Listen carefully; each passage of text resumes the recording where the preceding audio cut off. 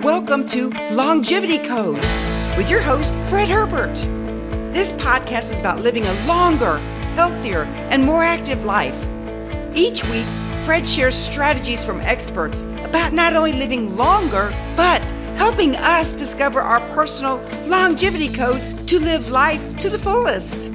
This podcast is sponsored by RedoxLongevity.com where we'll discover what experts are calling the most amazing breakthrough in our lifetime that affects health, anti aging, and sports performance. Learn more at redoxlongevity.com. That's www.redoxlongevity.com. And now, here's our host, Fred Herbert. Welcome, fellow travelers, on this road to longevity. In this podcast, we'll cover some high level views of the basic concepts we must practice to live longer, healthier, and more active lives. As we go through these core concepts, ask yourself where are you and how do you feel about each of these? Here we go. Core concept number one I am responsible. We have to accept full responsibility for our current and future health. Where are you right now in your physical and mental health? When we realize we must accept full responsibility for where we are now, then we can make the necessary changes to improve our future. Once we realize we're in the driver's seats and not a victim of our circumstances, we feel empowered and ready to make the necessary changes. Sure, there are forces that we have to deal with, like family, friends, society, doctors, so called experts, and our own temptations, but we can't blame them. That gives all the power to them and not to ourselves. My wife Tracy had a moment like that in her life. At the age of 17, she was diagnosed with juvenile diabetes, now called type 1 diabetes. If you're not familiar with the different types, type 1 is an autoimmune disease that you can't prevent or cure, while type 2 is the kind that most people are getting now and is considered to be 95% lifestyle related.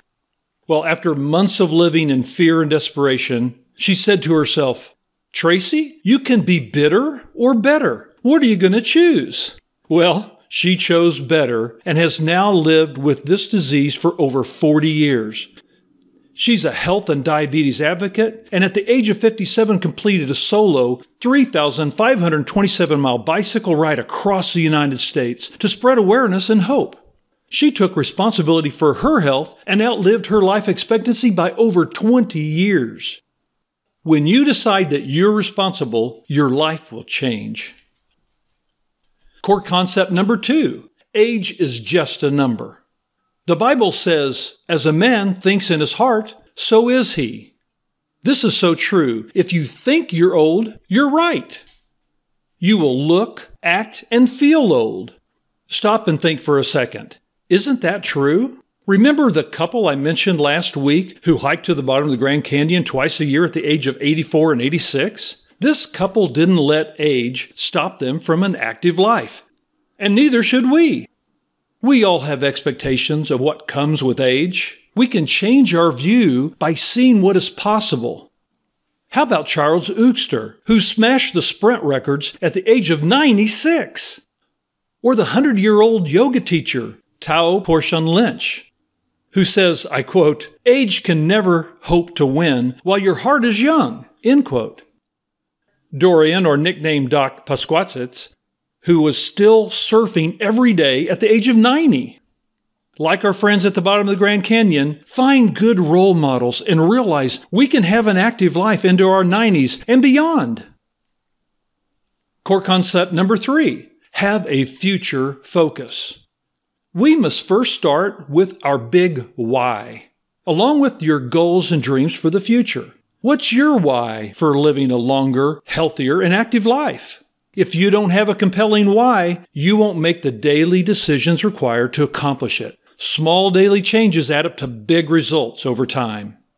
Adolf Zukor, who was the founder of Paramount Pictures, said as he approached his 100th birthday, quote, If I'd known how old I was going to be, I'd have taken better care of myself. End quote. Now that's funny, but so true. How many people are living out their final decades with diminished physical and mental capacity that wish they had done things differently regarding their health choices? We're not going to let that be us. That's what this podcast is all about, helping you and me get the most out of life. Core concept number four health starts at the cellular level. Scientists say our bodies are made up of 75 trillion cells. These cells constantly die and replace themselves. Most disease is when our cells are damaged in some way or another. The focus on eating healthy is all about giving our cells the building blocks they need to either repair or rebuild healthy cells. In future podcasts, we'll talk much more about this process and how we can improve our cells' ability to communicate, repair, and replace. Everything we consume can have an impact on our health and our cells. Aging is all about keeping our cells healthy and winning the battle against oxidative stress. Another subject for another time. Core concept number five education must be our priority. Information and education will help us make the right choices when it comes to health and longevity. That's what this podcast is all about giving you the information that will help you as you pursue your goal of living a longer and healthier life. Health information is constantly changing. Look how many years it took to debunk the myth that fat was bad in causing heart disease. Now we know the low fat revolution only made us fatter and unhealthier as a nation. The mainstream health system is not always the best place for us to get our education. In this podcast, I'll bring you the latest scientific research and information to help you decipher fact from fiction. Core concept number six take action. Sure, in this day and age, we have lots of head knowledge about how to be healthy, but when we fail to put it into practice, we really are no better off. We know what we should be doing, so why aren't we doing it? The trick is taking action on what we already know. There are a few things that we aren't aware of right now that can help us with longevity. That's the gap I'll fill in with this podcast. But having said that, if we would only act on what we know, we'll be way ahead of the curve. Most of this is common sense. But why is it so difficult to follow? Let's be willing to take action now on what we already know, and let's do what is best for our long term health and vitality. Core concept number seven my doctor doesn't always know best. Doctors are great people and they want to help.